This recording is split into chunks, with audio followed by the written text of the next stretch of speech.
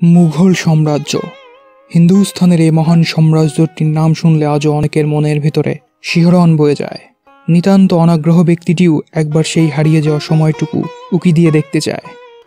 Viewers, Mughal সাম্রাজ্যের সেই গৌরবোজ্জ্বল ইতিহাস জানতে ভিডিওটি শেষ পর্যন্ত দেখতে থাকুন।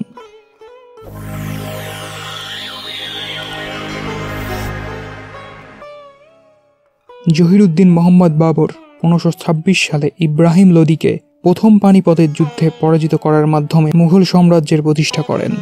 মুঘল সাম্রাজ্যে ছিলেন সাতজন শক্তিশালী সম্রাট, যারা পনেরোশো ছাব্বিশ থেকে আঠারোশো সাতান্ন সাল পর্যন্ত মুঘল সাম্রাজ্য শাসন করে এসেছেন।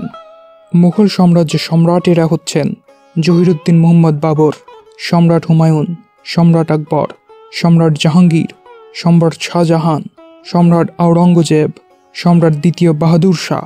মুঘল সাম্রাজ্যের প্রথম সম্রাট জহিরুদ্দিন মোহাম্মদ বাবর পনেরোশো ছাব্বিশ থেকে পনেরোশো তিরিশ পর্যন্ত মুঘল সাম্রাজ্য শাসন করেন। বাবর চোদ্দশো তিরাশি সালে মধ্য এশিয়ার বর্ধমান উজবেকিস্তানের ফরগনা রাজ্যে জন্মগ্রহণ করেন। তার পিতা ওমর শেখ মির্জা ছিলেন ফরগনা রাজ্যের অধিপতি। পিতার মৃত্যুর পর মাত্র এগারো বছর বয়সে বাবর ফরগনা রাজ্যের সিংহাসনে বসেন। জহিরুদ্দিন মোহাম্মদ সাহসিকতা ও নির্ভীকতার জন্য ইতিহাসে বাবর নামে প্রসিদ্ধি লাভ করেন। তার পিতার দিক থেকে তিনি তৈমুর লং এবং মায়ের দিক থেকে চেঙ্গিস খানের বংশধর ছিলেন। তুজু কি বাবর বা বাবরের আত্মজীবনী নামক গ্রন্থে বাবুর তার জীবনের জয় পরাজয়ের ইতিহাস অতি সুন্দরভাবে লিপিবদ্ধ করেছেন। বাবরের খুবই দৃঢ় স্পৃহা ছিল। মুঘল সাম্রাজ্যের প্রতিষ্ঠাতা মাত্র চার বছর শাসনের মাথায় পনেরোশো সালে সাতচল্লিশ বছর বয়সে সম্রাট জহিরুদ্দিন মোহাম্মদ বাবর মৃত্যুবরণ করেন। মুঘল সম্রাট বাবুরের মৃত্যুর পর তার পুত্র হুমায়ুন মুঘল সাম্রাজ্যের সিংহাসন গ্রহণ করেন। তিনি পনেরোশো থেকে পনেরোশো পর্যন্ত মুঘল সাম্রাজ্য শাসন করেন। সাম্রাজ্য পরিচালনায় তিনি তার বাবা বাবুরকে সহযোগিতা করেছিলেন। পনেরোশো সালে তিনি বারো বছর বয়সে বাদশাহানের রাজপাল নিযুক্ত হন। পনেরোশো সালে বাবর যখন ভারত আক্রমণ করেছিলেন, হুমায়ুন তার সাথে বাদশাহ থেকে একটি দল নিয়ে যোগ দিয়েছিলেন।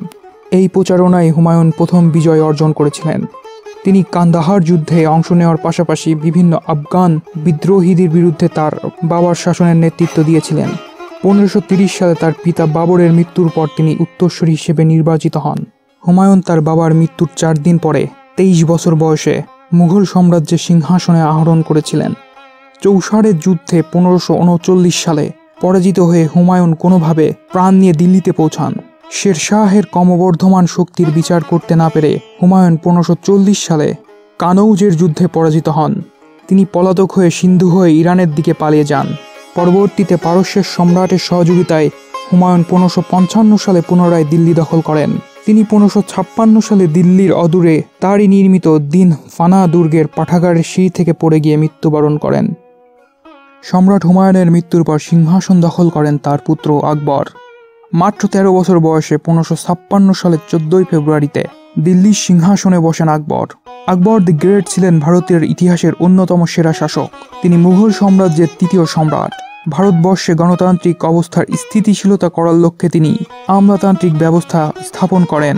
অন্যান্য দেশের সাথে বাণিজ্যিক সম্পর্ক বৃদ্ধির লক্ষ্যেও তিনি মনোযোগী ছিলেন। তিনি মুঘলদের অন্যতম প্রতিদ্বন্দ্বী রাজপুতদের সাথে সম্পর্ক উন্নয়নের জন্য এক রাজপুত নারীকে বিবাহ করেন। সম্রাট আকবরের শাসন আমলে অনেক অর্থনৈতিক উন্নতি হয়।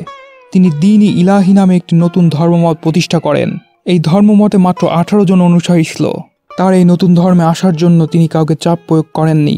সম্রাট আকবরের সময়ে মুঘল সাম্রাজ্য সবচেয়ে বেশি বিকশিত হয়েছিল, আর এই জন্যই তাকে শ্রেষ্ঠ মুঘল সম্রাট হিসেবে বিবেচনা করা হয়। ষোলোশো সালে সম্রাট আকবর মৃত্যুবরণ করেন। সম্রাট আকবরের মৃত্যুর পর মুঘল সাম্রাজ্যের চতুর্থ সম্রাট হন সম্রাট জাহাঙ্গীর। তিনি ষোলোশো পাঁচ থেকে ষোলোশো সাতাশ সাল পর্যন্ত মুঘল সাম্রাজ্য শাসন করেন।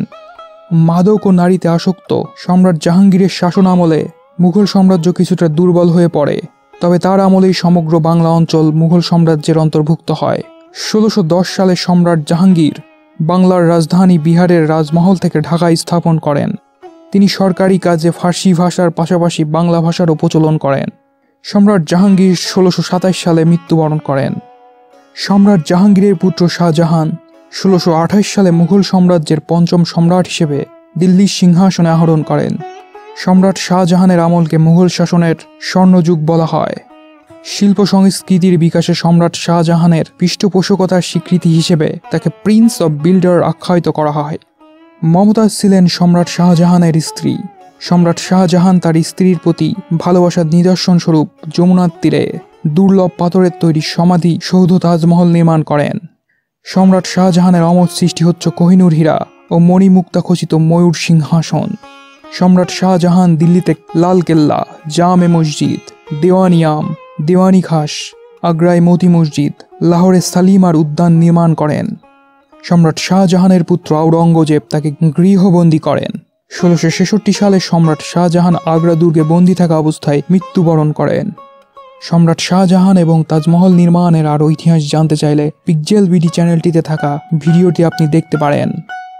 সম্রাট শাহজাহানের পর সম্রাট আওরঙ্গজেবের শাসনামল ভারতবর্ষে মুঘল সাম্রাজ্যের সবচেয়ে শক্তিশালী হিসেবে আবির্ভূত হয়।